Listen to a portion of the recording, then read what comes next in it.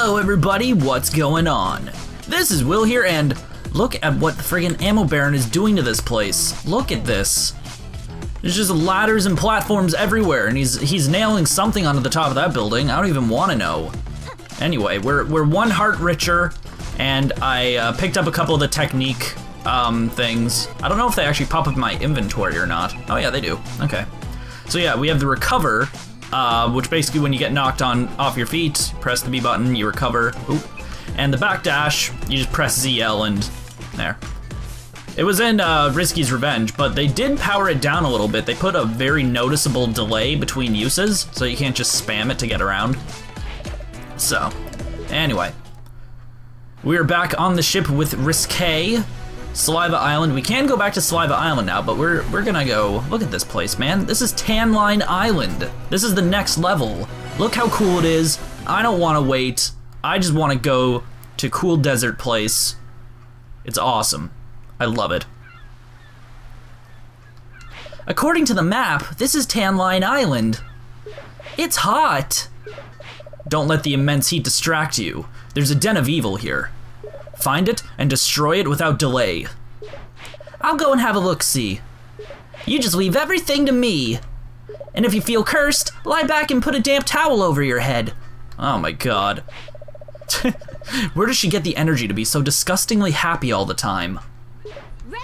Oh, oh, Red 2 go. You got it, Shanty. You got it.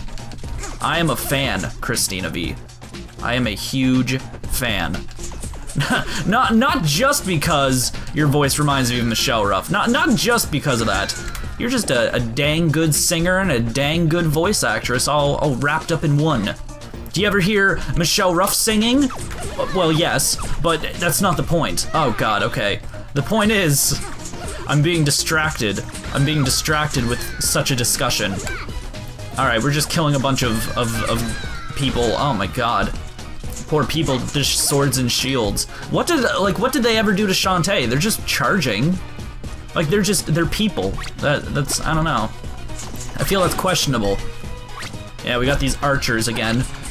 This ain't quite the Barren Desert, but it does have way cooler music than the Barren Desert.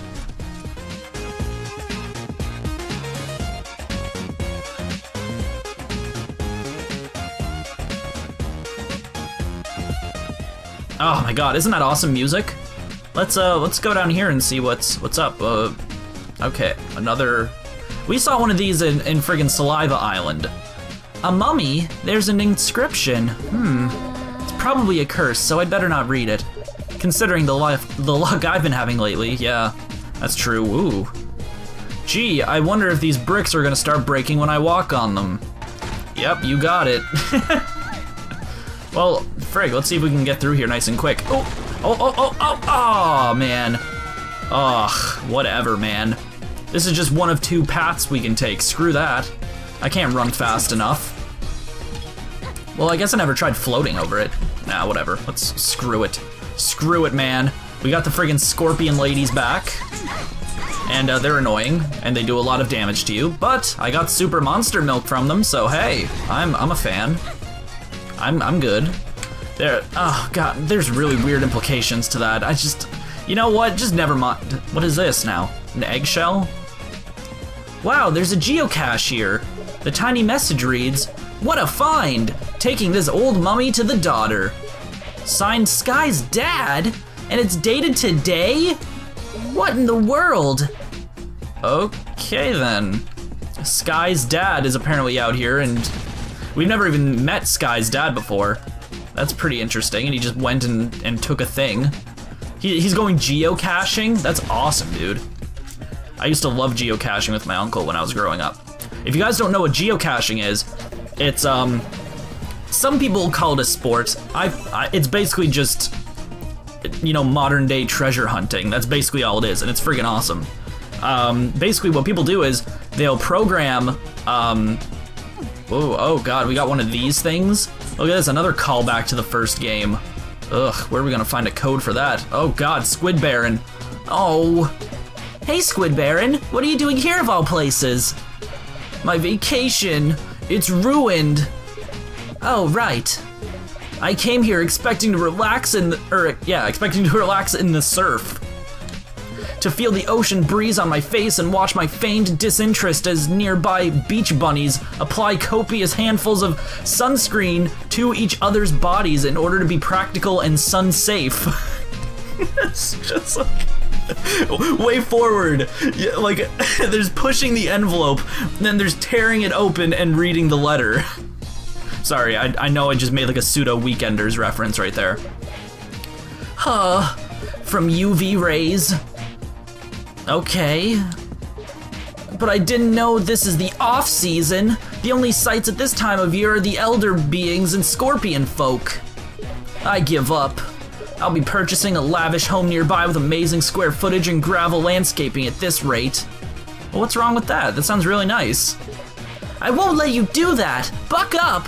There's still something amazing out there waiting for you. Something cliche like a lonely lady squid. Maybe you're right.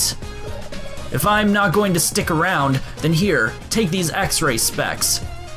I won't be needing them apparently. Use them to see through things if it please- Oh my god. Are you serious right now?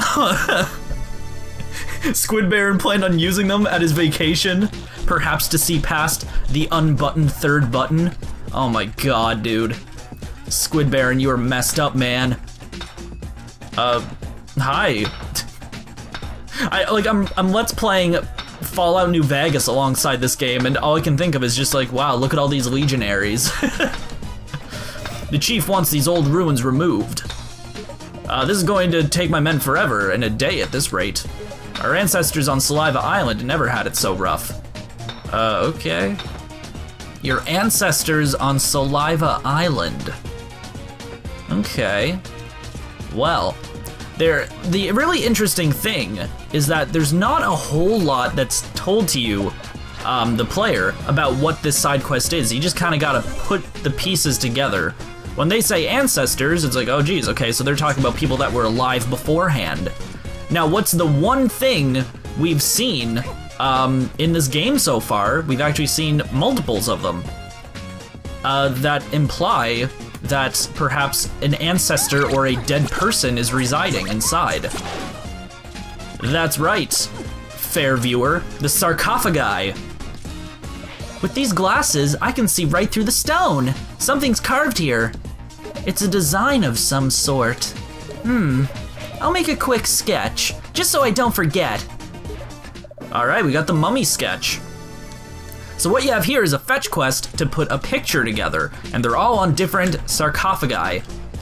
And that thing that Sky's dad took, that was also here on Tanline Island, that is actually another one of the three, uh, one of the three sarcophagi. So we gotta go to the three different ones that we've found so far, and when we go to all of them and use the x-ray specs to see through them, we'll uh, uncover a picture, and the picture will actually help us. So we're gonna go to Saliva Island first. Because now that we have to backtrack here for the sake of the story, we can actually backtrack and uh, pick up that last heart squid here as well. So that's pretty nice. I'll have to watch my health here. I've been kind of like lazy with fighting anything. I've just kind of been like running past everything so far this episode. so I've got to watch myself. Ooh, ooh, ah, ee, ooh. What was I talking about that I was explaining? Oh my god, geocaching. Yeah, so it's, like I said, it's like modern day treasure hunting because um, people will hide things around the world, but they'll incorporate an electronic um, download of a GPS location that you can locate yourself.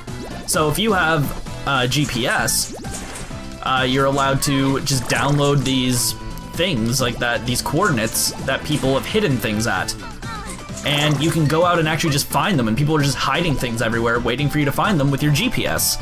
And it's so much fun, oh my gosh. Because like sometimes they hide them really well. Like you'd be amazed at how how well some people are like hiding their their treasure, man. It's so cool. Um, yeah, I screwed this up. Here we go. We'll do it right this time. I know the actual order. I know the order of things. There we go. The Nature of Things, starring David Suzuki. Ooh. Uh, ah, darn it. Yeah.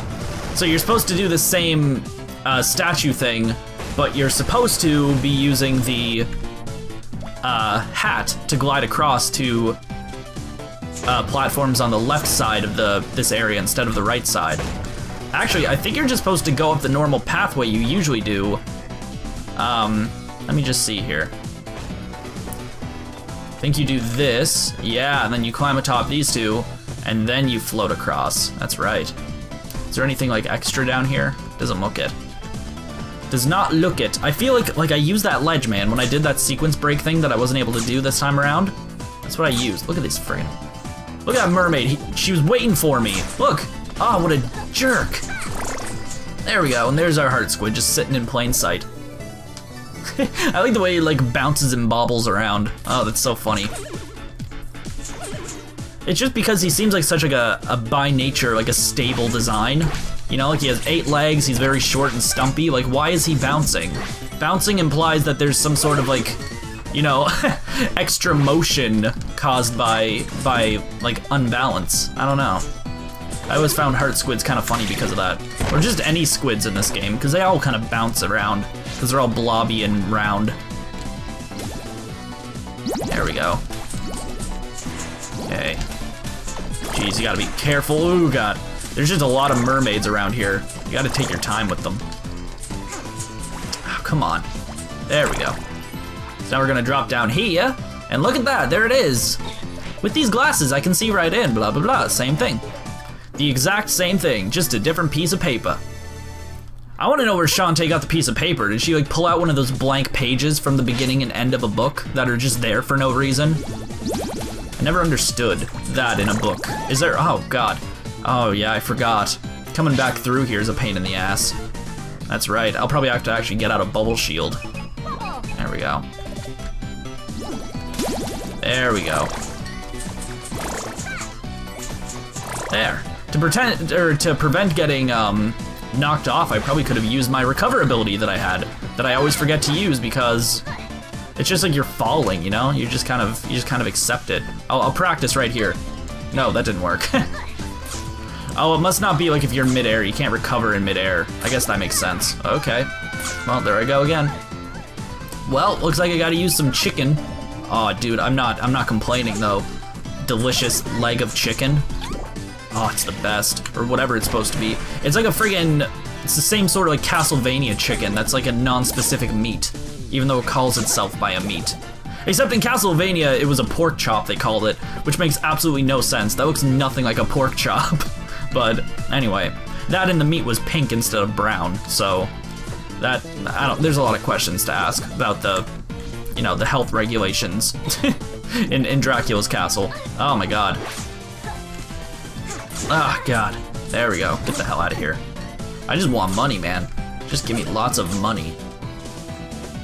There we go. That and this last sarcophagus that we're gonna have to go pick up.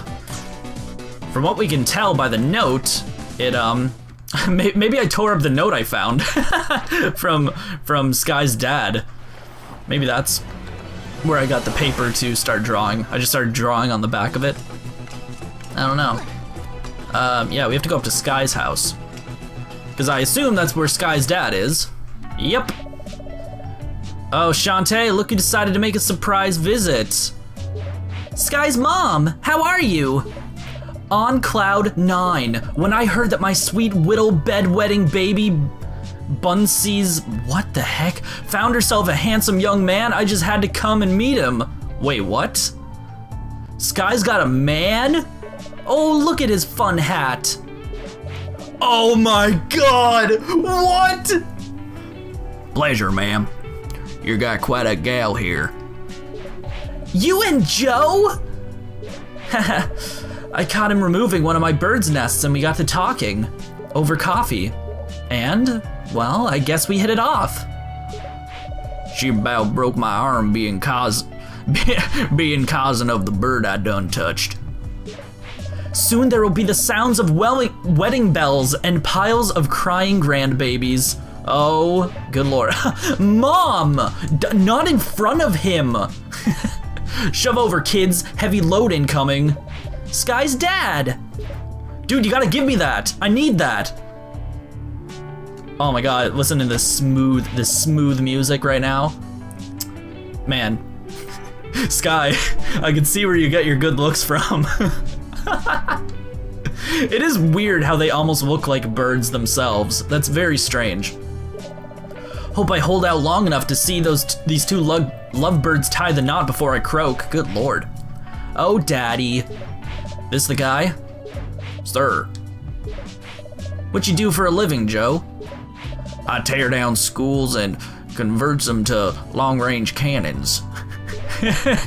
he remind like every time I see Joe, Barracuda Joe, he's my favorite character just in Shantae ever, by the way. He's just the best. The, every time I see him, I think of Scruffy from Futurama. I'm Scruffy. I'm the janitor. my daughter could do a lot worse. That's true. Daddy!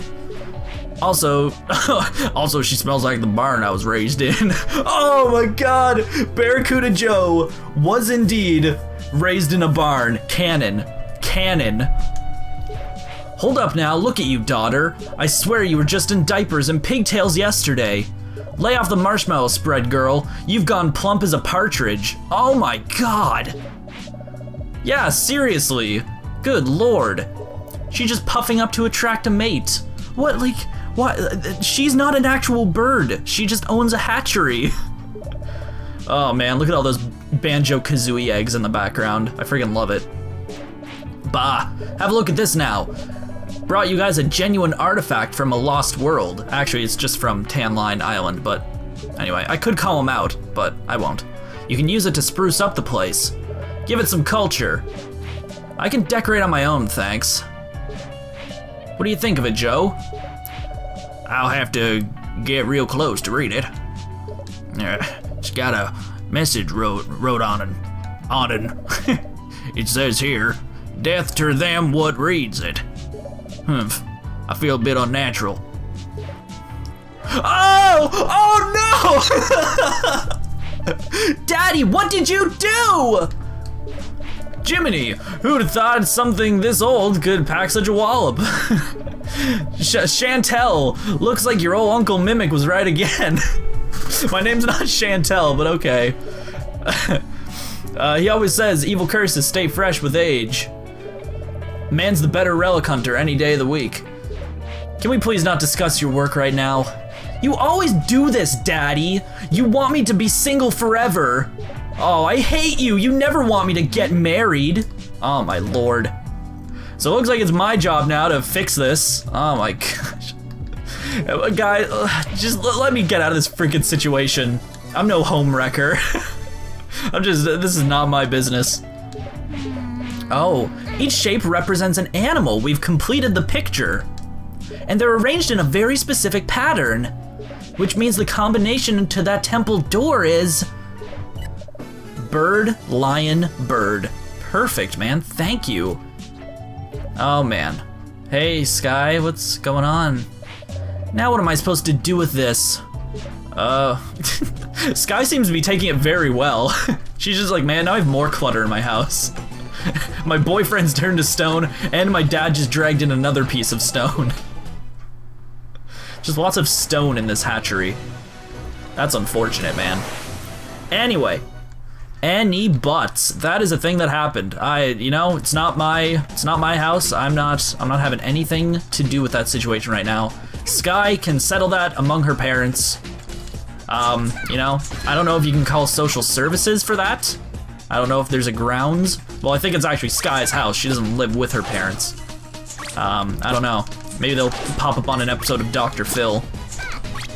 The, the one thing I always loved about Dr. Phil is when he starts getting like really mean and rude to people because it's it's so great and I remember one episode I can't even remember what the problem is I mean like you know it's Dr. Phil how many possible problems could there be right it's usually like one of five main things Dr. Phil's always talking about there's just one thing where like this girl's like not backing down um from her uh from her side of the story, and she's like, no, like the my daughter's lying, like blah blah blah. D this happened, then this happened.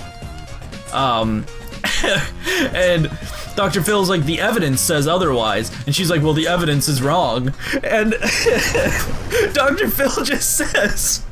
Because you got to picture how Dr. Phil talks, right? He's like, well, the the evidence says otherwise, and she's like, well, the evidence is wrong, and he's like, you know, you're a bitch, and everyone just starts laughing and clapping, and it just it cracks me up every time. you know, you're a bitch. just like, whoa, man, you're supposed to be like a, a psychiatrist, like a social worker. You know, you don't just go around calling people bitches.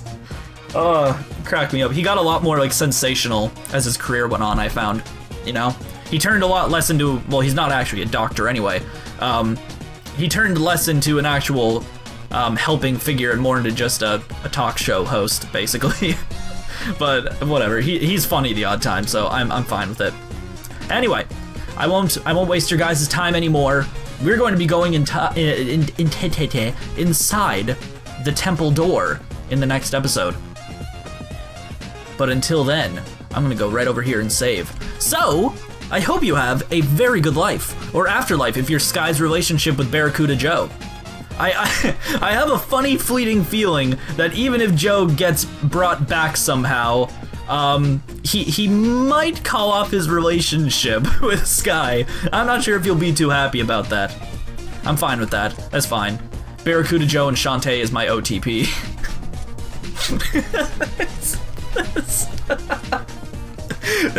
they're they're such a good pairing. They're they're so they're such a good pairing. Remember that one time when Shantae fake kissed him twice, and he was like, "No, you don't just say kiss to someone. You you, you gotta actually do it." And she's like, "Oh, sorry, kiss." Look, you're doing it again. OTP. This is my that's my head canon. Peace.